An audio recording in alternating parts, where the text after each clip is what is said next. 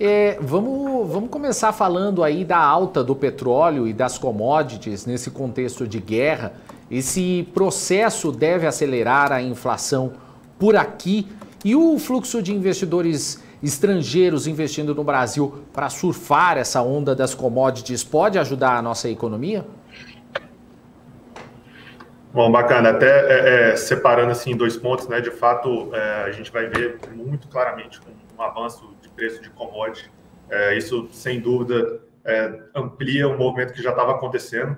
É, em linhas gerais, assim, né, no, no, no pré-crise, é, quer dizer, no pré-nova crise, a gente já estava em outra, é, que foi, dentre vários aspectos, muito caracterizado pela quebra na, na rede de suprimentos, né, na rede de produção, é, em toda a cadeia produtiva global. Alguns produtos específicos, microchip, vidro, tiveram uma, uma destruição em cadeia produtiva uh, que fez com que uh, demorasse muito tempo, né? E a gente ainda está vivendo esse momento para você religar a máquina, para você restabelecer a logística, restabelecer a distribuição. E quando eu começava a ter essa retomada, a gente vem é, numa nova crise de natureza diferente, onde de forma mais é, pela caneta, né, pela sanção, a gente tem uma nova quebra em cadeia produtiva. Né? Nesse caso, até um passo atrás, não tanto é, na indústria, embora isso vá acontecer eventualmente, mas numa fase anterior, né, em commodities, então é, é, o petróleo, o gás natural, que são produtos é, de, para os quais a, a, Rússia tem uma relevância muito grande em produção, hoje pelas sanções, pelos bloqueios, até pelo risco de, de transporte físico, né, é, é, quem passa ali para algumas regiões, hoje vai ficar com mais medo, dependente de como avançar a guerra, você vai ter alguns canais é, marítimos relevantes que, que vão ter menos fluxo, vão ter menos movimentação, que vai ter uma cautela maior por parte das transportadoras.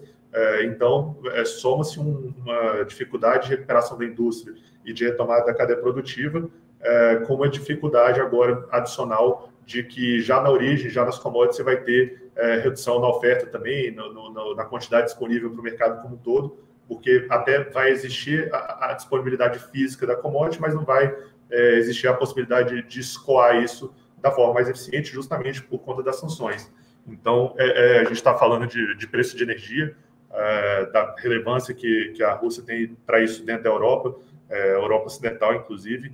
A gente está falando de petróleo, que também entra como energia, como combustível, como matéria-prima é, para a indústria também. É, e isso naturalmente acelera uma inflação que já vinha se mostrando não tão temporária quanto se previa anteriormente, é, que agora isso se alarga ainda mais. Dentro desse contexto, o Brasil, é, como país que, que tem uma participação muito relevante do agronegócio, é, é, de exportação de commodity, de cadeia produtiva, ele pode sim ser atrativo para investimentos. Lógico que isso vai se conflitar com o fato de que aqui ainda é um país que tem um, uma necessidade de dar um prêmio de risco maior, é, e dentro de um cenário de crise, de agravamento, é, onde o Brasil é exportador de commodities, mas é consumidor também, isso pode, é, de um lado, gerar efeito positivo, mas de outro negativo, tanto pela aceleração de inflação e como que isso exige uma política monetária mais restritiva, quanto pelo próprio é, é, aumento de custo e como que isso impacta a indústria.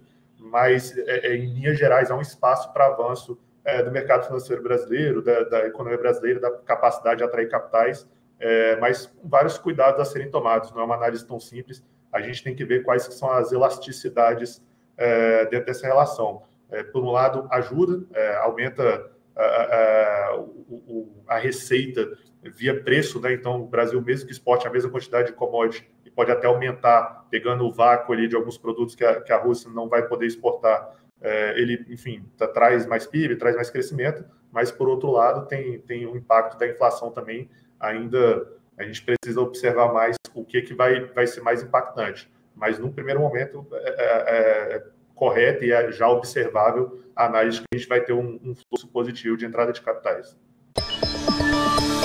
you